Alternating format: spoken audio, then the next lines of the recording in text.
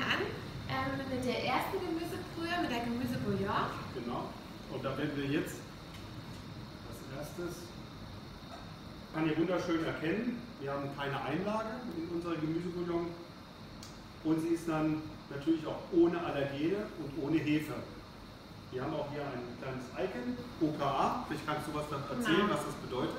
Genau, nach der neuen Lebensmittelinformationsverordnung müssen 14 Allergene auf den Speisekarten gekennzeichnet werden. Wenn unser Icon drauf ist, OKA, dann bedeutet das, dass keine Allergene in dem Produkt enthalten sind, die gekennzeichnet werden müssen. Das bedeutet auch, wenn Spuren enthalten sind von irgendeinem Allergen, muss es nicht gekennzeichnet werden. Das heißt also, in diesem Falle ist es kein Sellerie in dem Produkt. Dafür haben wir eine Petersilienwurzel, Lauch und Blumenkohl verarbeitet. So, dann kommen wir zu unserem zweiten Produkt. Das ist die Maggi klare Gemüsebrühe. Bio. Das heißt, was ist Bio? Genau.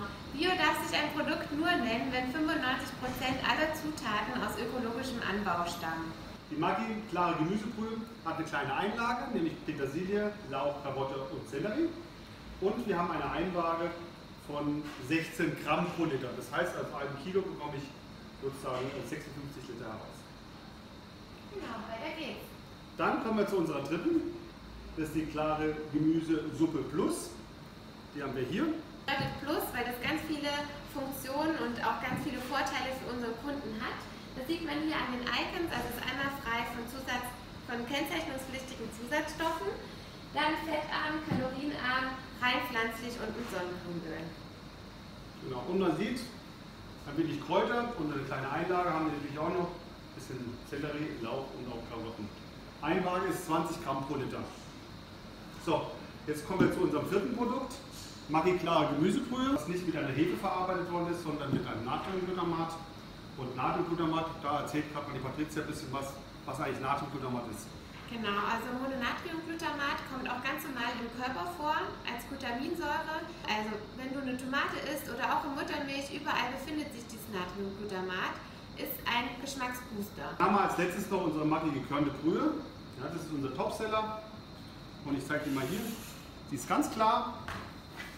Ist auch noch mit Natriumglutamat verarbeitet worden.